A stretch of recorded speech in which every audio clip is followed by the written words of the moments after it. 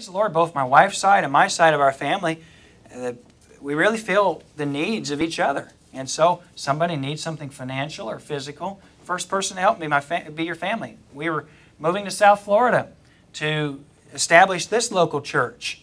In our motorhome, the engine blew in it. We're on the side of the road. We got an estimate, $7,000 to put an engine in it, but the guy said, I don't want to do it. So that's what I charge you if I would do it, but I don't want to. It's too big a job. And so I called my dad. My dad said, Well, I'll come down and help you. We'll do it ourselves. That's what family does.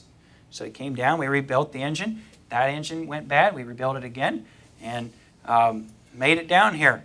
And that's what family did. You know what? When we were doing that, we stopped in a local church. And we plugged in there, and you know what? They were like family. We ended up staying with somebody. And that's what family does. Family sees common needs, common goals, and they come together for a common purpose. And the church is not ambiguous. It's not just everybody that's saved is loosely a part of a grand organization. There's such a concept as a local church with real family ties and real obligations for them. Okay. Wow. Okay. Um, here's here are some things about church membership that defines it. First of all, uh, church membership is joining to a local body of believers for worship, fellowship, and service. We found that in our text, actually. Number two, under what is church membership? It is a means of equipping the church with people to perform the mission of the church. The Great Commission is given to the church study, evangelism, and soul winning, and it is the mission of the church. And is carried out by individuals who are part of that church. And you, as a soul winner, are a part of a local church. We'll mention this in just a little bit on how to be a, when we talk about how to be a good church member. But the first area for your, you to be involved in a local church is in the soul winning ministry. The first area to be involved in, with in a local church is the soul winning ministry. That's the mission of the church is to reach the lost for Christ. It's the primary goal and purpose. Everything else you do to serve in the church is to put forward that effort. And so that's your primary mission. Acts 2 1 through 41 through 47, we see church memberships first uh, really talking about the addition concept of these people were counted into the church, if you will, is in Acts chapter 2. So they were added to the, to the church. They continued in the functions of the church, the function of the church, breaking bread, fellowship, prayer. Of course, baptism was right there mentioned. That's a function of the church. Uh, the Lord's Supper was a function of the church, and it's mentioned in this text. And uh, preaching the gospel and taking care of the needs of the church. Um, the church, this is such a trite statement. It's so true. It's been said so much that people don't think about it. It's kind of uh, like the what would Jesus do question. That's actually a really good question.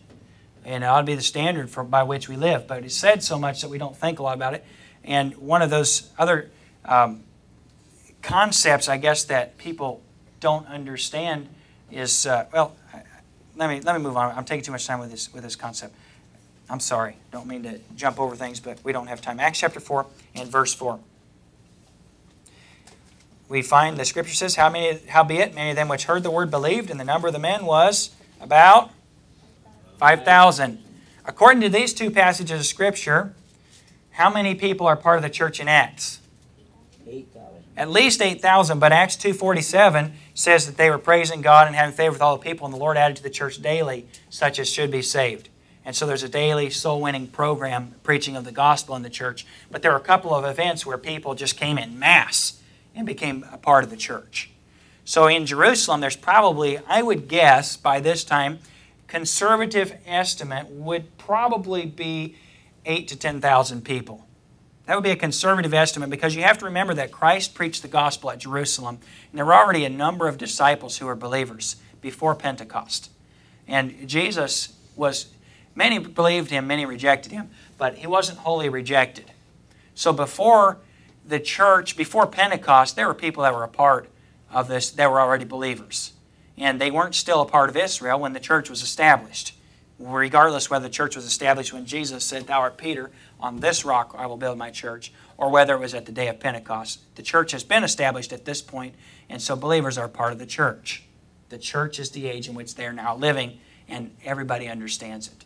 Okay, by the way, what's the word for church? There's a couple words. Uh, ecclesia means uh, those individuals who have been called out of the world. Uh, but we want to teach the concept of church membership today is with regard to keys to spiritual success. So, verse 32 of Acts chapter 4. Uh, the scripture says, And the multitude of them that believed were of one heart and of one soul. Neither said any of them that aught of the things which he possessed was his own, but they had all things common. So, this matter of church membership is very well understood to be a oneness, a family, and a fellowship. Now, let's talk about family. We did this in our Sunday school meeting this morning. And let's just talk about uh, attitudes. I want you to think about this when you think about church membership and the obligation to be part with a local church. You think it's important that you like your church? Anybody think that there's it would be good to not dislike your, the church that you go to? Come on, wake up. Yes, you ought to like your church. Okay. Do you think that you'll always like everything about your church? No. No. Realistically, you won't. Do you know that most people, now just before you say, Pastor, I don't agree, think it through. Most people go to church based on whether or not they like it. It's true. It's true, isn't it? It's not a matter of, they don't usually ask the question, Am I supposed to be part of this church? It's whether or not I like it. And you know, most good people oftentimes dislike so they don't have to be a part of it. I'm talking about good people here. In other words, this, okay, man, I'm telling you, I thought that was, I mean, they they claim to be, they may be sound doctrinally, they may believe the right things, but you know what that guy in that church did to this person? And, I mean, I'm not going to be part of that. I mean, I just can't. I mean, they, okay, let me ask you a question. If I did some prying into your family affairs, if I really got to know uh, your immediate family, would there be some lazy ones? Would there be some rebellious ones? Would there be some ones that they're getting there in your immediate family? What if we got a little further away in your family? Would there be some ones that weren't good family members? There, I want you to think about this. Does that have, do you leave your family over that? In other words, mom and dad, you know, they don't, they, they fight. And they shouldn't, but they fight. Well, I'm going to quit this family. No, you, you want mom and dad to not fight. Um, little sissy lies. Mom and dad are working on it. Do they get rid of her? Well, this one's a liar. No, they help her not to lie. Right? And you know, most people think that everybody in the church, and seriously, with the exception of themselves, because they don't see themselves as part of the family, they come to the church and they look at it and they say the church ought to be like this. Well, is it true? Are they correct? Could they support that with Scripture? Yeah, they sure could. But does that mean they shouldn't be part of that family? Or does it mean it's a good reason to leave the family? You know what family does? Family pulls together. And if sister has this problem, man, you pull for them. You really do. You try to work with her on it. You try to help with it. And I would submit to you that what you need to look for in a local church is not necessarily perfection. But by the time you are, uh, but by the time that you join is the time that you look for perfection not when you become a part. Have you ever seen somebody? Okay, think of a church that would be a good church if it wasn't for its problems. Serious, I mean, I'm, being, I'm not even being, I'm, I'm kind of joking, I'm being a little sarcastic, but think of one that would be a good church except. And then think of the person in that church that makes it would be a good church except.